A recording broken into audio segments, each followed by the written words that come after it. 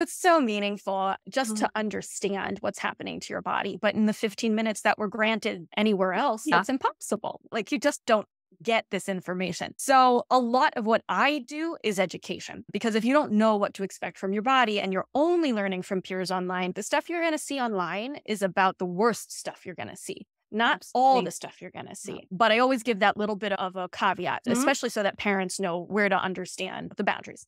I will offer interventions like medication depending on what their their needs are and that really starts with an understanding that our pain largely comes from poor compensation habits. So if your connective tissue literally isn't holding you together properly and you sprain your ankle, the ankle might not heal very well. And then you're going to be spending the next three years walking funny. And by the time you get to me, your shoulder might be hurting, but it might be because three years ago, exactly. And that's part of the underlying issue of connective tissue not doing their job.